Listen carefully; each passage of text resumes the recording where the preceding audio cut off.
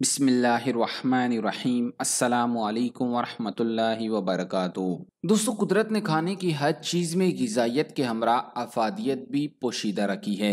बैंगन भी एक ऐसी सब्ज़ी है जिसे ज़्यादातर अफराद खाना पसंद नहीं करते, लेकिन इसके फवायद सुनने के बाद यकीनन आप भी इसे अपनी खुराक में ज़रूर शामिल करना चाहेंगे।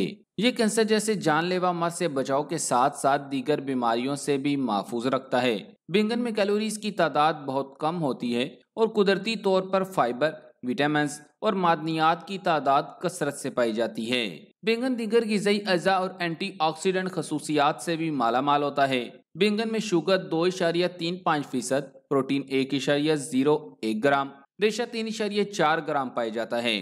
तिब नबी सल्लल्लाहु अलैहि वसल्लम और जदीद माहरीन तिब के मुताबिक बैंगन एक ऐसी सब्ज़ी है जिसमें बहुत सी बीमारियों से लड़ने की खसूसियात मौजूद होती हैं। तो आज की इस वीडियो में हम आपको तिब नबी सल्लल्लाहु अलैहि वसल्लम और साइंसी तहकीकात के हवाले से बैंगन के फवायद और नुकसान के मुतलिक बताएँगे।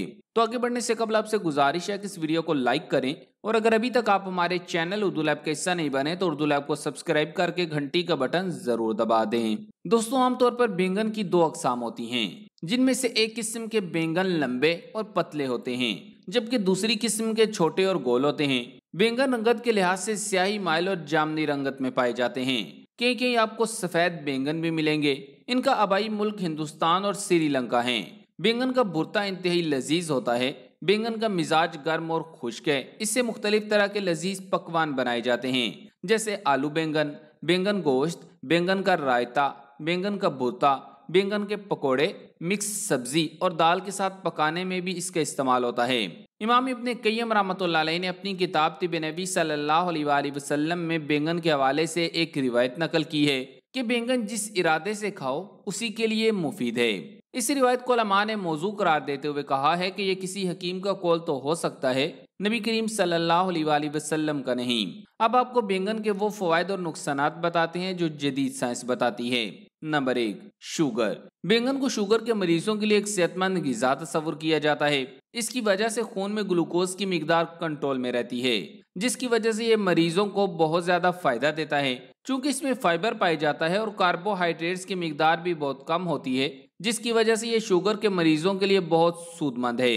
अगर आप शुगर के मरीज़ हैं तो आप अपनी गजा में बैंगन का इस्तेमाल ज़रूर करें। नंबर दो, कोलेस्ट्रोल। बैंगन में वाफर मकदार में फाइबर मौजूद होता है जो कोलेस्ट्रॉल की सतह को बरकरार रखने में मदद करता है।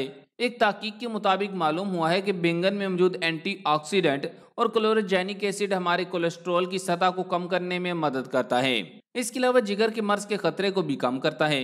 अगर आपको कोलेस्ट्रॉल का मर्ज लाहिक है तो अपनी गजा में बैंगन का इस्तेमाल ज़रूर करें। नंबर तीन, जिल्द। बैंगन में बानवे फ़ीसद पानी शामिल होता है। ये भी हम सब जानते हैं कि जिल्द को नरम मुलायम बनाने और इसकी ताजगी बरकरार रखने के लिए पानी किस कदर अहम है? ऐसे में पानी की ज़्यादा मकदार रखने वाली सब्जियों को अपनी खुराक में शामिल करना भी जिल्द को शफाफ बनाता है।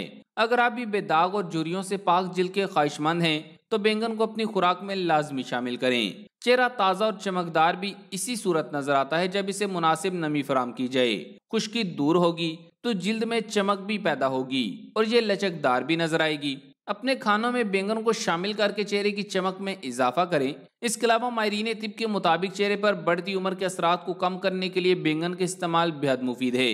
इसके छिलके में एंथोसियानिन नामी अज्जा पाए जाते हैं, जो बढ़ती उम्र के असरात घटाने के लिए बेहतरीन माने जाते हैं। ताकीक में यह बात भी सामने आई है कि बैंगन के छिलके में वो बेहतरीन अज्जा शामिल हैं, जो जिल्द की झुरियाँ दूर करने के साथ साथ जिल्द से मुतलिक बीमारियों से भी निजात दिलाते हैं। नंबर चार, बाल। बैंगन में सेहतमंद अंजाइम्स की बड़ी मकदार पाई जाती है, जो हेयर फॉलिकल्स के लिए बेहतरीन है। मौजूदा दौर में जब बालों का गिरना बीमारियों की सूरत इख्तियार करता जा रहा है, ऐसे में बैंगन के इस्तेमाल से बालों की सेहत और नशोनुमा को बेहतर किया जा सकता है। बैंगन में शामिल पानी की मकदार भी बालों की जड़ों को मज़बूत बनाकर इन्हें घना करती है। नंबर पाँच, दर्द और सूजन। दर्द, सूजन और चोट से निजात के लिए बैंगन का लेप बहुत मशहूर है। लेप तैयार करने के लिए एक बर्तन में दो से तीन चम्मच सरसों का तेल, बैंगन कद्दूकश करके तीन चम्मच, लाहौरी नमक एक चम्मच और आंबा हल्दी डालकर मिक्स कर लें और नीम गर्म करके रुई पर फैलाकर घुटने, हाथ या जिस जगह दर्द, सूजन या चोट हो उस पर बाँध कर बैंडेज कर दें। नंबर छह, सर और पाँव में पसीना आना। जिन खातन को स्कार्फ पहने से सर में पसीना आता है, वो बैंगन के रस में थोड़ी सी हल्दी और पुदीना का अरक मिलाकर बालों में स्प्रे करें और स्कार्फ पहन लें। जिनके सिर्फ़ हाथों या पाँव से पसीना आता हो, उनके लिए बैंगन से निकला हुआ पानी ही हाथों और पाँव पर लगाना काफ़ी है। नंबर सात, हारमोन में तोज़ुन खातन मुख्तलिफ़ हालात से गुजरती हैं, इसीलिए उनके हारमोन्स में तब्दीलियाँ वाक़ होती रहती हैं। बैंगन खातन के हारमोन में तोज़ुन के लिए बहुत अच्छा है बैंगन में बड़ी मकदार में रेशा भी मौजूद होता है। अलावा अजी बैंगन में विटामिन बी भी पाया जाता है, जो इंसानी जिस्म में एसाबी निज़ाम को मज़बूत बनाता है और जिस्म को तोानाई फराम करता है। इससे जिस्म में हारमोन का तोज़ुन दुरुस्त रहता है और इंसानी जिगर के काम को भी बेहतर बनाता है। खातन को मखसूस अयाम के दौरान बैंगन ज़रूर खाना चाहिए। नंबर आठ, अमराज कल्ब। बैंगन अमराज कल्ब से महफूज रहने के लिए भी मुफीद गज़ा है। इसमें पाए जाने वाला fibre vitamin C, vitamin B, potassium और दीगर एंटीऑक्सीडेंट दिल की बीमारियों के खतरे से बचने की सलाहियत रखते हैं। एक ताकीक के मुताबिक बैंगन दिल के अफाल को बेहतर बनाता है। इसके अलावा कोलेस्ट्रॉल की बढ़ती हुई सतह को कम करता है। लिहाजा अगर आप दिल की बीमारियों से महफूज रहना चाहते हैं तो बैंगन को अपनी गिजा का लाजमी हिस्सा बनाएँ।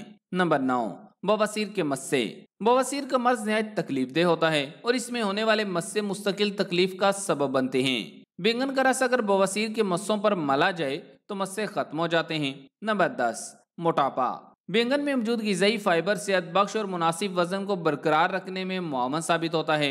ये कैलोरीज में बहुत कम होता है, इसीलिए वज़न में इजाफा नहीं करता। पेट के मसाइल दूर करता है, जो वज़न में इजाफे का सबब बनते हैं। बैंगन में कम हरारे पाए जाते हैं, इसी वास्ते वज़न कम करने के लिए अपनाए जाने वाले गजाई निज़ाम में बैंगन को शामिल करने की हिदायत की जाती है। क्योंकि ये चर्बी को भी कम करता है। नंबर ग्यारह, कैंसर। बैंगन में कैंसर से बचाव की खसूसियात भी मौजूद होती हैं। मारीन सेहत के मुताबिक, वो गजाएँ जो जिल के कैंसर से तहफुज फराम करने में बेहतरीन हैं, उनमें से एक बैंगन भी है। इसमें जिल को बीमारियों से तहफुज फराम करने वाली खसूसियात पाई जाती हैं। बैंगन हमारे जिस्म को कैंसर जैसे जानलेवा मर्ज से बचाता है, और अगर किसी को कैंसर का मर्ज एक बार लाहिक हो गया है तो ये सब्ज़ी उस मर्ज की दोबारा नशोनुमा भी रोकती है। इसमें मौजूद क्लोरोजेनिक एसिड कैंसर के खिलाफ मदाफत करता है। नंबर बारह, दिमागी सेहत। बैंगन उन कुदरती केमिकल से भरपूर होता है जो दिमागी सेहत को बेहतर बनाने के लिए जाना जाता है। ये केमिकल्स खुलियात की झिलियों की हिफाजत करते हैं और दिमाग की यादाश्त को बढ़ाते हैं। ये आज़ाद रेडिकल खुलियों के खात्मे के बरक्स अपने खुलिये की हिफाजत के ज़रिए दिमागी सेहत को बरकरार रखता है। ये फ़ायदा पूरे जिस्म और दिमाग में खून के भाव में इजाफे का नतीजा है। दिमाग को ज़्यादा खून पहुँचाने से ये केमिकल्स आपके इसाबी रस्ते को बढ़ाने के लिए मुतहरिक करके यादाश्त को बढ़ाने में मदद करते हैं। बैंगन में मौजूद मुरकबात दिमागी रसोली से बचने की सलाहियत भी रखते हैं। नंबर तेरह, कब्ज। कब्ज और गैस की बीमारी में बैंगन अक्सर का दर्जा रखता है। एक ताकीक के मुताबिक, बैंगन इंसानी मैदे को ताकत देने के साथ साथ भूख में भी इजाफा करता है।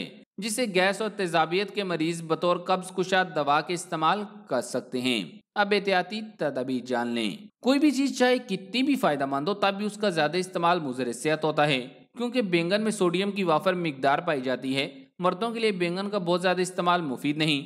जिन लोगों को नींद की कमी या जिसम में खुश्की हो, वो बैंगन का इस्तेमाल हरगिज ना करें। बैंगन के इस्तेमाल हर किस्म के बुखारों में मना है। इसके अलावा इसे छिलके समेत खाना बादी और पेट के अमराज में मुबतला कर सकता है। इसे छिलका उतार कर और दही डालकर पकाने से मुजर असरात कम हो जाते हैं।